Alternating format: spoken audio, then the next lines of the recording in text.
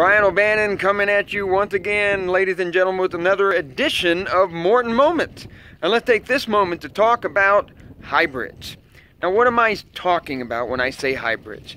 Well, as you can see here in the background, we have an example of some wooden walls right there with a steel truss roof and ceiling.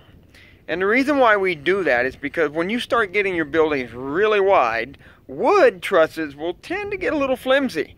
And so what we do here at Morton is we design, engineer, and manufacture our own proprietary lightweight but very strong trusses to be able to put in buildings that are pretty wide and we combine it to where it still fits on our wooden walls. And again, just because it's wood doesn't mean it's not strong. As a matter of fact, it's engineered to be just as, if not stronger, than the steel. The difference is, though, as you can see, is our wall still remains nice and flat, very low profile, and then as far as insulation value, is amazing. After all, if I took a torch and I burned a piece of wood here at the end and I let you grab the other end, you'd probably grab it.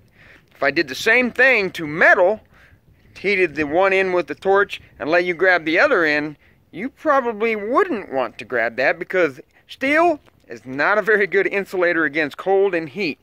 And that's why we like our wooden walls, but yet we have to use some sort of steel truss and again, when you have steel trusses like ours that has all that opening, uh, the gaps up there, you know, the, the skeletal look, that keeps as much as possible keep, uh, the, the cold and the heat from the actual roof from going through and absorbing down into the actual ceiling of the building.